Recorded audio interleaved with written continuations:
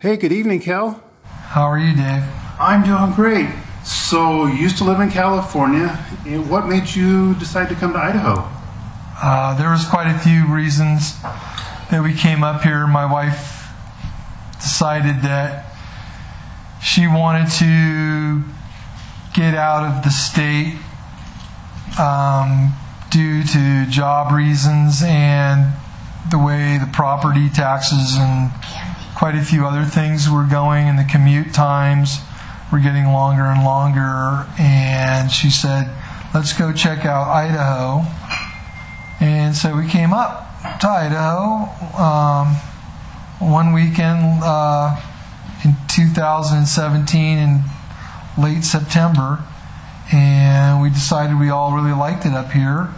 And Dave took us around to quite a few different places uh, in Caldwell and Nampa, Boise, Meridian, and we found a place up off of 21 going towards Idaho City and fell in love with it and decided that we didn't think it would stay on the market very long.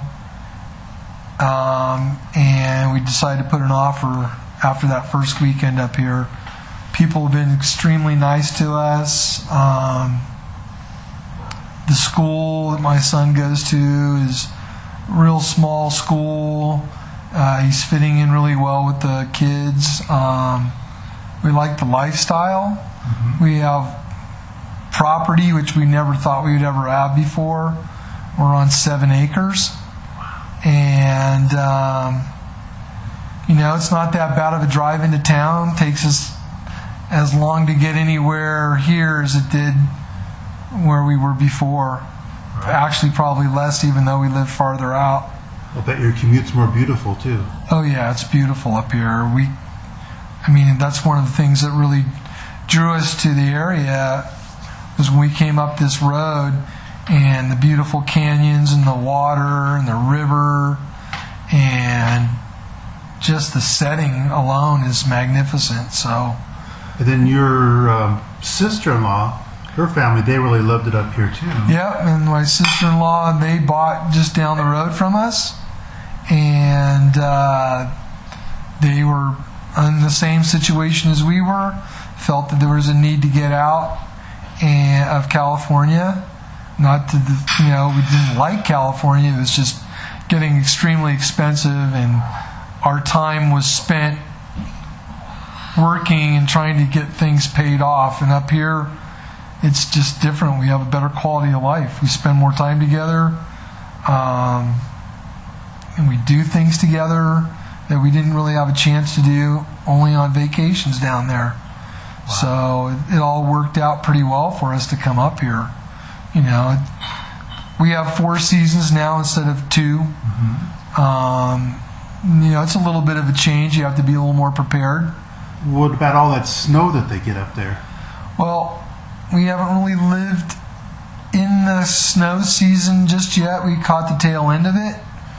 Um, so we're we prepared for it. We're prepared for it. We've got um, a tractor and stuff now that we can plow our road because we we're not in a rural city We're not in a city. We're in rural country. We're kind of off the grid a little bit, but they do a really good job apparently of clearing the roads off up here, and you're just pretty much responsible for your driveway. So we got ourselves a tractor so we clear our driveway and get out when we need to get out. Like I said, you have to be a little more prepared. It's a little more work right away, but I think you know after you've been here for a while, it's not going to be a big deal. So you've got a beautiful house up here, seven acres, over seven acres, and for what this costs is probably about the price of just a regular average in-town kind of house in California. Yeah, I would say it's probably definitely you wouldn't be able to live in the Bay Area. You'd have to live on the outskirts of the Bay Area to afford something like this size. Right. You know, um, taxes are low here in this county. Um, there's no smog tax. There's no smog. You don't have to pay smog in Boise County. So it's it's no, no smog on your car. no smog on the cars. and registration uh, for two years was $123. So you went down to DMV to get your license. How long did you have to wait in line? I didn't have to wait at all. There's no wait in at the DMV in this part of Boise, or in this part of uh, Boise County, I should say. Right. Ada County, I don't know anything about that. If you live down in if you live down in Boise and Nampa, I'm sure you're going to probably have a little bit different kind of uh, experience with you know DMV and stuff like that. Healthcare seems to be really good up here that was a, kind of an important thing that we wanted to make sure that they had good health care services and we do and we actually paid like $60 a year for life flight uh, for the entire family Wow. and we have uh, we, we bought two policies for ambulance service up here that was probably around the similar you know it was like $50 for the uh, the family and my mom had to pay $50 for hers because she's separate and um, So you're saying you can come up here, live out in the country, have room to spread out, yet still have all those important things like health care, um, that life flight. I mean, you're just minutes away from a hospital once that Right. gets here. and uh, you know they have banks. They don't have. Um, there's not Bank of America up here. It's Bank of America does no longer exists in Idaho, so um, Neither does In and Out Burger. neither does In and Out Burger. You know, there's a few things that are a little. There's I haven't seen a Safeway yet, but they have Winco and Albertsons, which is pretty much another name for Safeway up here. Um, you have Target, Macy's, um, pretty much everything you can want you can get down in Boise. Uh, no Orchard Supply, but they got D&B, and they have Home Depot and Lowe's. Um, they have other hardware stores. Um, So if you're shopping for something, you're probably going to find it local. Yep. If anything you're going to need, it, they're going to have it. And Boise's pretty up and coming. So as far as if you're a foodie and stuff like that, you're going to pretty much find what you want down there. Um, you know, no French bread up here. If you're used to French bread, uh, it's it's a little different, but um, you'll make do. Uh, how was your experience with your real estate agent? Well, I got to say one thing. I've dealt with a lot of real estate agents in the last 15 to 20 years, and, and Dave takes it to a whole different level. Dave takes you around, he helps you shop around, he tries to answer all your questions, um, he makes sure that he schedules everything prior to you getting there. He'll pick you up in his in his van and take you around and show you the places. Um, he's he's pretty non-biased in the whole thing. You know, he just you, you you give him what you're looking for, and he'll take you around to the places that um, you pretty much are looking for, and that's what we did. So um, Very cool. yeah, so he spent he'll spend a lot of time with you until you find something.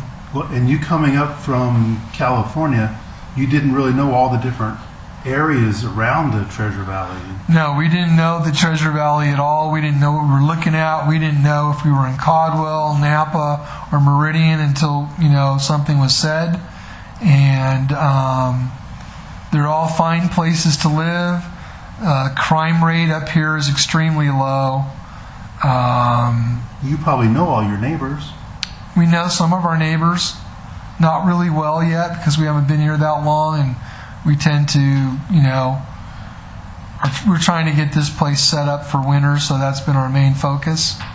Uh, first year, first year will be a little expensive because you're going to be buying things that you don't normally buy: snow shovels, generators, you know, chains, maybe snow tires, things like that that you just you know you don't think you need unless you live in snow country and it's snow country up here um, i don't think it's like tahoe or uh, Truckee, where you get like nine foot walls of snow, Right. you'll probably have to go some other place in Idaho to get that. But uh, the winters apparently can be mild or heavy, and they haven't had a heavy one for a couple years. So, um, you know, the weather's been good since we've been up here.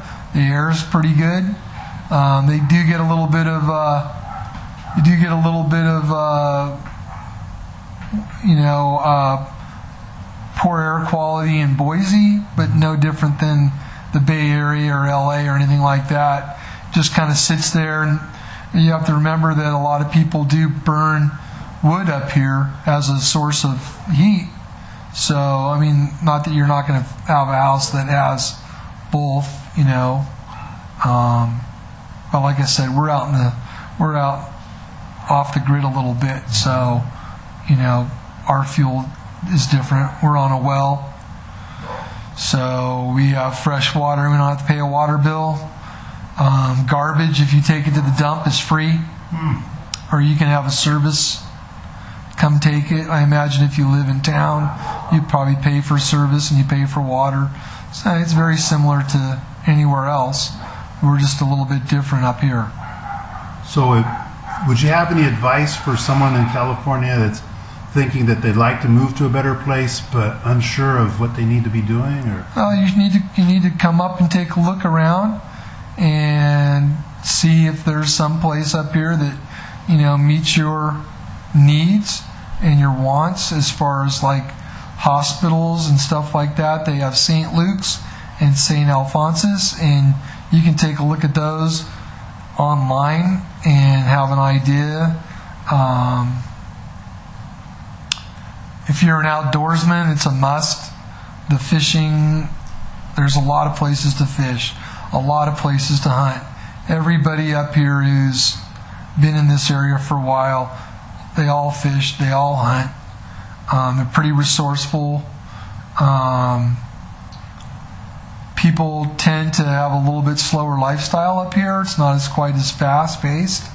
so less stress, perhaps? Less stress. Definitely a lot less stress up here. Wow. Well, you've given us a lot to think about, Kel. Appreciate your time, and No I'm problem. so happy that things are working out so great for you guys. Yeah, we love it up here. Excellent. It was a very good decision for us. Glad to know. You're welcome. Thank you. Thanks. Thanks to your entire family. You're welcome.